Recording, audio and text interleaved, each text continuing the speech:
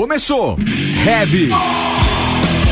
Peronomútil. Tá começando o Heavy Peronomútil aqui no 89 Rádio Rock. Eu sou o Thiago DJ e a gente vai junto até as duas da mamãe. Eu vou receber aqui uma presença internacional, é brasileiro, mas é presença internacional, que é o Danilo Sancinetti. É módulo ou é modulo? É módulo. Módulo. Módulo, não tem um acento. É muito complicado. Acento. Não, é, módulo. é italiano, total. Cara. Danilo Sancinetti. Danilo Módulo. Eu assino no Dan... canal, eu assino no canal como Danilo Módulo. Danilo Módulo. Vamos falar do seu canal, como chama? Bora. Meu canal chama Tokudok.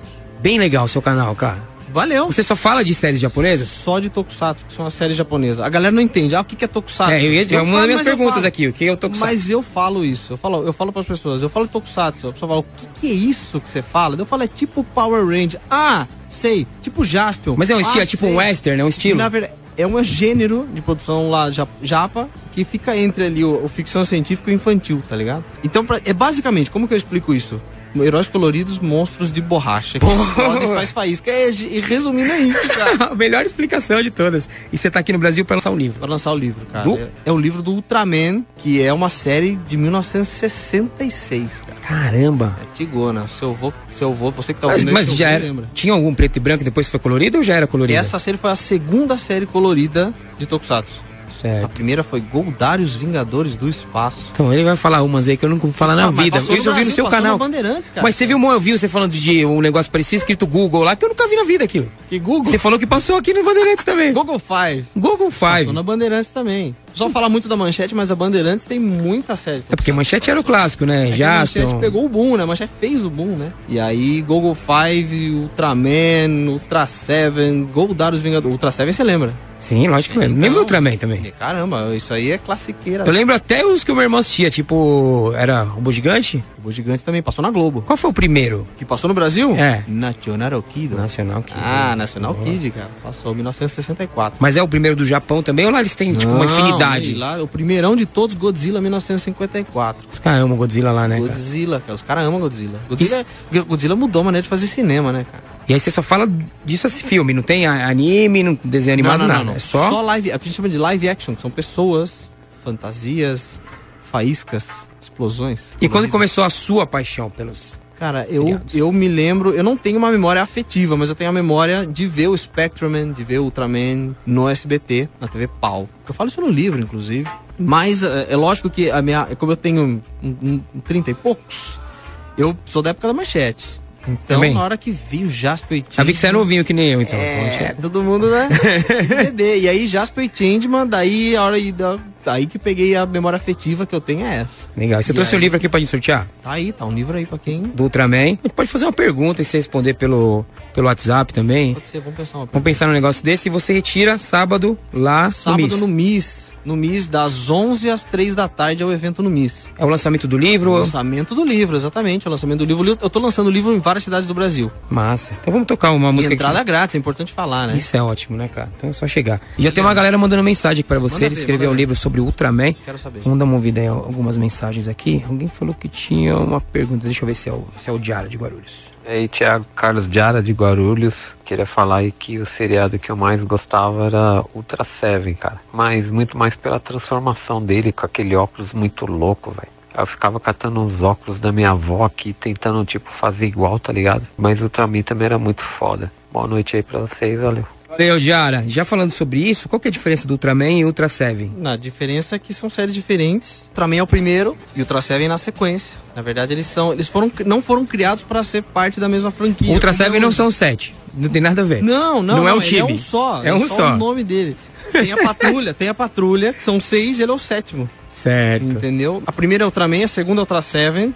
Então, na verdade, é isso. É uma- como- é- hoje, eles são compreendidos como primeira e segunda série, mas na época eles foram feitos como séries separadas. Quando pintou a terceira série, é que tudo começou a fazer um link, costurar e logo criar uma franquia, um universo único pra isso. Ah, o Victor Summer, de Manaus, falou que a série preferida dele é o Kamen Rider W. É isso? Double. Double. Double. É um tem o W- Black Kamen Rider que passava aqui. Não, o, o Kamen Rider é na verdade é double de dois, Certo. mas o- ele- eles usam o W, a letra W, pra, pra- como um trocadilho como double. Então o logo dele é um W, mas você fala double de dois, porque é dois caras que formam um herói só. E eu acho que tem mais uma Esse pergunta. Vitor Summer aí, ele, tá, ele, ele ajuda eu no canal, cara. Ah, é? É, olha só, ele tá fazendo graça. Massa. Aqui é o Thiago. seriado japonês, cara, não tem como esquecer. O melhor de todos foi o Jasper, né? É isso aí, falou, Tiagão. Eu também acho. É verdade. Não, o Jasper é inesquecível.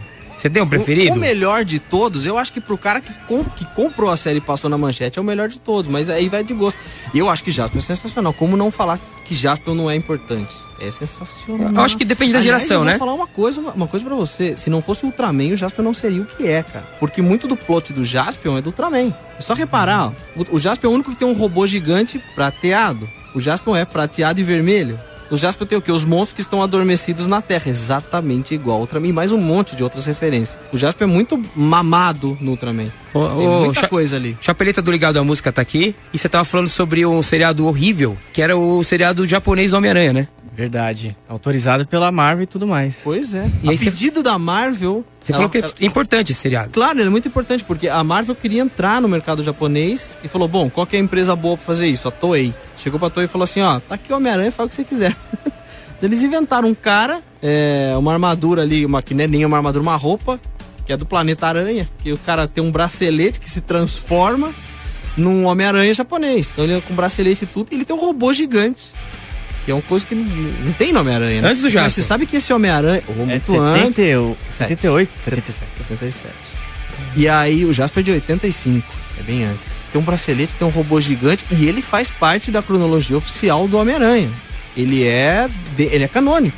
Caramba. É, o o, o tem um negócio de Transformers ali? O Dylion, o gigante guerreiro? É Dylion? Sim, Ah, ele é, uma, é o Dylion do Jasper, né? Tem uma parada de Ele é uma nave que, que se transforma em um robô, exatamente. E quando você começou o seu canal, cara, como é que. Isso foi em 2014, como eu tenho três anos e alguma coisa de canal. Você não mora no Brasil, né? Não mais. É. É, Eu, na verdade, eu comecei o canal porque eu mudei. Eu mudei, eu saí do Brasil, eu tinha três empregos no Brasil, fui embora pra. Eu moro em Madrid. Cheguei em Madrid e falei, o que, que eu vou fazer, cara? E eu tava querendo fazer um canal aqui já. Eu tinha uma banda de anos 80, fazia. Trabalhei 10 anos com música. Inclusive, quem estiver na live, veja que ele está de McFly. Eu tô de. é, essa jaqueta aqui é verdade, mas é totalmente McFly. Que eu sou pirado no De Volta. Eu sou o cara que. eu- eu- você liga o filme de volta Você sabe Futuro, aquelas teorias todas de eu Volta sei, eu, na verdade, eu ia falar. Eu, eu começo o filme, eu vou, eu vou nas falas juntos, eu falo as falas do filme juntos. Eu tenho que estudar totalmente nerd. E é verdade parte, que na assim. primeira cena, sei lá, do primeiro filme, ele já fala de todos os filmes? Não, Essa- essa é história, né? É história. Aí né? já é mais, dois né? e o três foram gravados juntos, mas o primeiro era só o primeiro. Não tinha nada Ninguém disso. planeja uma trilogia de cara. É, foi o primeiro fim, ainda mais naquela época, né? Foram Mas a gente tá falando do, outra- do Dylan, a gente tá falando antes. Não, você Vou- perguntou Mas vamos voltar, porque eu quero saber lá. outra coisa do Japão. É, eles continuam fazendo séries até hoje. Até hoje. Oi, vende pra caramba. E como é que é? É aquela tosqueira toda? Hoje, comercialmente hoje ainda é muito mais forte que antes. Porque agora eles fazem pra vender, né? Antes era só uma série pra vender um produto. Agora é pra vender 50, 60, 100 produtos. Passa alguma aqui no Brasil hoje em dia? Passa. Dessas novas? Não em TV aberta. Em TV aberta não passa mais nada. Não passa mais nada. Mas passa em TV, em canais de assinatura online, streaming. Tem alguma atual assim que você indicaria pra gente? Ah, essa é legal. Olha, já que a gente tá falando de Ultraman, o- os próprios, o- o- as próprias séries Ultraman atuais são extremamente indicáveis, se é que existe essa palavra. O Ultraman Deed, que é o atual, tem um anterior que é o Orb, tem um anterior que é o X, e todas essas têm legalizadas no Brasil e dá pra assistir tranquilamente. É que não passa mais em TV aberta, porque não passa mais programa assim em TV aberta, né? Sim. Mas tem mais passa, nada. passa sim, o Ultraman passa até hoje. cara. Falando nisso, a gente tem um público monstruoso no Japão, vários brasileiros que moram lá e ouvem a Monstruoso gente. Japão é ótimo. É, monstruoso, né? Japão. O Ultraman Jack é o nome do herói. O nome da série é O Regresso de Ultraman. tá? Porque a ideia era ser o regresso do primeiro. Sério. E aí, no meio do processo, eles mudaram a ideia por, por alguns fatores. E aí, o Ultraman, que nessa série só se chamava Ultraman, nunca foi chamado de Ultraman Jack. Esse batismo só foi, foi feito muitos anos depois. Pra poder diferenciar do primeiro. Agora vocês aprenderam, né? Pega a aula aqui. Tem um, tem um áudio aqui de um, do Fábio, que ele é Uber. Tiago, beleza? Aqui é Fábio, faço Uber aí às noites, tô sempre ouvindo vocês aí. É, então, eu queria dividir um negócio engraçado que eu descobri uma época que eu tava, tava trabalhando numa empresa com japoneses, que era o seguinte, o Jaspion, eles não conhecem muito. Eu fui uma vez com a camiseta do Jaspion assim, aí os japas ficaram olhando, mas que que é isso, tal, não conheciam bem. E aí que eu fui descobrir que na verdade o, o Jaspion ele, ele era uma, uma, um programa sem nicho. Porque tinha os programas dos Kamen, e aí tinha todos os Kamen lá no coisa. Aí tinha os Sentai, que são os Changeman, Power Rangers, Flashman, que são os de 5, com robô gigante e tal. E o Jaspion era um meio termo, que era o cara solo, mas que tinha o robô.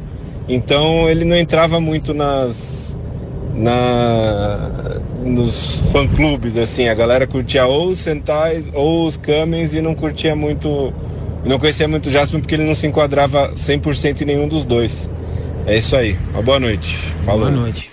Confere isso aí, Mais ou Danilo? menos, mais ou menos. O lance é que o Jaspion é, tem- a, tem a franquia Super Sentai e tem a franquia Kamen Rider, que eu vou dos Kamen a Kamen Rider. Super Sentai dos coloridos. Super Sentai são 5, 3 ou 10 ou 12 atualmente coloridos. Ah, atualmente são 12? Atualmente são 12. Malandro. Por enquanto, por enquanto. Você, sabe o nome, você sabe o nome de todos? É começou demais. com 9 e agora já são 12. Vai aumentando. Eles têm que vender brinquedo, cara. É assim que funciona. E tem- então tem a franquia Super Sentai, que ele falou de Power Ranger. Power Ranger é outra franquia, que na verdade Super Sentai passa no Japão, Power Ranger passa no mundo. Que é uma Tá. adaptação, uma derivada do Power Super Ranger Sentai. é americano. Power Ranger é mundial. Na verdade, americano é só, é só a distribuição. Os dublês, os atores, a- só os câmeras acho que são americanos ali. Olhe lá ainda. E aí tem a franquia Kamen Rider, que ele tava comentando, que o Brasil passou Kamen Rider Black, o Black RX. Mas o Jasper é, o Jasper é da franquia Metal Hero.